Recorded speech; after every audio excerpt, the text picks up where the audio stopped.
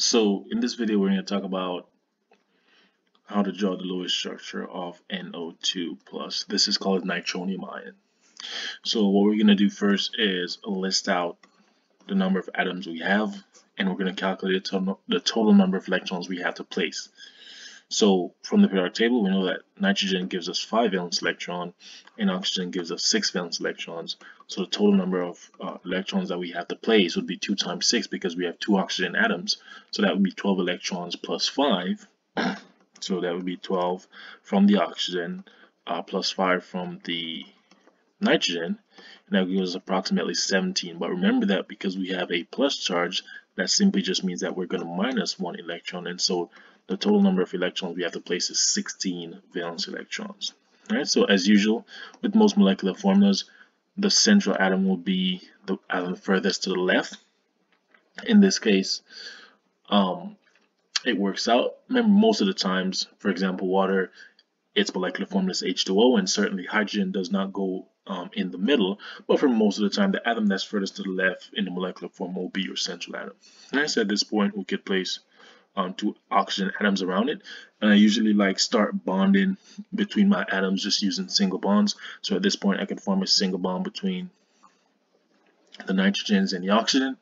At this point I've only used uh, four valence electrons because remember one single bond is worth uh, two valence electrons. So we have currently four valence electrons around uh, the nitrogen. Now nitrogen is one of those um, atoms just like oxygen that the octet typically must be satisfied and so if we play a little game here, I could possibly form a double bond and that way nitrogen's octet is satisfied. Now you may be wondering to yourself, why didn't you put like lone pairs around the nitrogen? Well, you certainly can, um, but you'll end up you you'll see in the end that it is positively not the best way uh, to, to go about it because um, the Lewis structure will be incorrect, right? So at this point, we have 2, 4, 6, 8 electrons around the nitrogen, so we know nitrogen's octet is satisfied. How about the oxygens?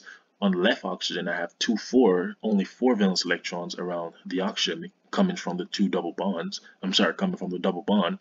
And so because we can't place any more electrons on the, on the nitrogen, we can only place them on the oxygen. So if I put two pairs of lone pairs on the oxygen, now I have 2, 4, 6, 8 valence electrons on the left oxygen, and I could possibly do the same on the right oxygen.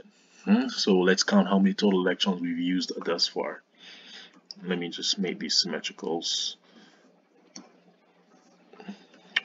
Alright, so thus far we have 2, 4, 6, 8, 10, 12, 14, 16 valence electrons, and this is exactly what we counted is exactly what we have.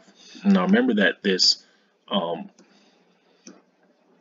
this molecule is an ion, and so we typically must put our ions in brackets. Mm, that's just the correct way of drawing our Lewis structure.